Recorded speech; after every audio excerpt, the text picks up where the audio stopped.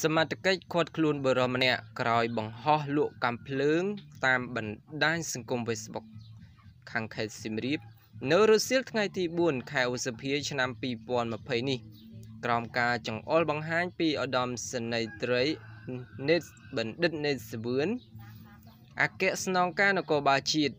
និងការសហការពីនាយកដ្ឋានជំនាញនៃអគ្គស្នងការដ្ឋាននគរបាលជាតិ ដោយមានការសម្របសម្រួលនីតិវិធី ពីលោកព្រះអញ្ញា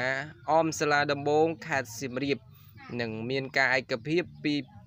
អគ្គស្នងការនគរបាលជាតិកម្លាំងសមត្ថកិច្ចនគរបាលផែនការងារសន្តិសុខខេត្តសៀមរាប បានចាប់ខ្លួនជនសង្ស័យម្នាក់ពីបទជួញដូរអាវុធខុសច្បាប់លោកឧត្តមសេនីយ៍ត្រី ហួតសុធី អគ្គស្នងការទទួលផែនការសន្តិសុខបានឲ្យដឹងថាកម្លាំងការិយាល័យប្រឆាំងភេរវកម្មនិងឧក្រិដ្ឋកម្មឆ្លងដែនជាអ្នកអនុវត្តបានធ្វើការស្រាវជ្រាវរកឃើញអនុវត្តដីកាបញ្ជាឲ្យចូលខ្លួនមុខសញ្ញាជនសង្ស័យម្នាក់ដែលមានឈ្មោះថាអ៊ុំពេជ្ររស្មីឧត្តមភេទប្រុសអាយុ20ឆ្នាំ រស់នៅក្នុងភូមិស្វាយដង្គមសង្កាត់ស្វាយដង្គមក្រុងនិងខេត្តសៀមរាបបានធ្វើសកម្មភាពបង្ហោះតាមបណ្ដាញសង្គម Facebook នៅអាវុធពិតអាវុធប្រាហ្គាបាញ់គ្រាប់ដៃគ្រាប់ជ័រដែលជាអំពើចរាចរណ៍ជួញដូរអាវុធខុសច្បាប់ក្នុងខេត្តសៀមរាប ក្រោយការសាកសួរសម័យខ្លួន បានឆ្លើយសារភាពថា ខ្លួនពិតជាបានធ្វើសកម្មភាពជួញដូរអាវុធខុសច្បាប់ពិតប្រាកដមែន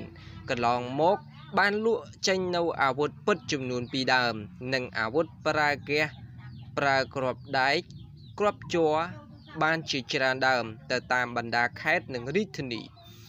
នៅក្នុងពេលដែលសមត្ថកិច្ចចុះត្រួតពិនិត្យផ្ទះបានរកឃើញកំភ្លើងប្រភេទហ្គាសចំនួន3ដើម និងគ្រាប់ពិតចំនួន100គ្រាប់គ្រាប់ដែកចំនួន4ប្រអប់គ្រាប់ជ័រ10ហ្គាសមួយចំនួនទៀតបច្ចុប្បន្នសមត្ថកិច្ចកំពុងតែកសាងសំណុំរឿងបញ្ជូនជនសង្ស័យទៅកាន់តុលាការ ដើម្បីបន្តនីតិវិធីច្បាប់ហើយនេះរឿងរ៉ាវរបស់ក្នុងសង្គមយើង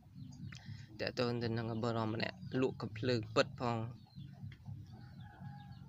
អរគុណចំពោះការតាមដាននៅវីដេអូនេះហើយបើមានកំហុសខុសឆ្គងមេត្តាខន្តីអភ័យទោសផងហើយកុំភ្លេចជួយចុច Subscribe នៅ Channel នេះផងអរគុណជម្រាបលាជួបគ្នានៅវីដេអូក្រោយៗទៀត